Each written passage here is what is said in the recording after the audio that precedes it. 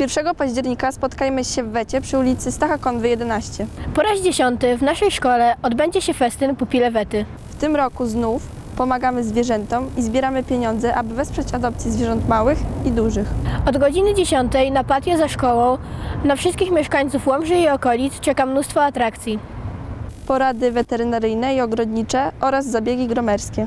Psi psycholog, kiermaś książek, konkursy, pokazy oraz mnóstwo jedzenia. Wszystkich wielbicieli zwierząt zapraszamy do Wety 1 października na godzinę 10 na festyn Pupile Wety.